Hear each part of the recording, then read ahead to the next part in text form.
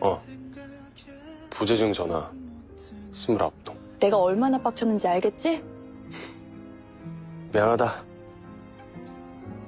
뭐 미안할 건 아니지.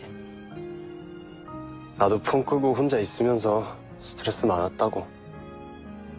그랬겠지. 아, 오늘 스트레스 좀 풀까? 나쁘지 않지?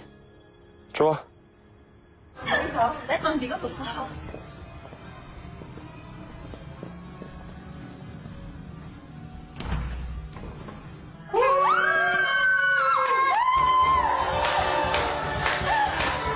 축하합니다.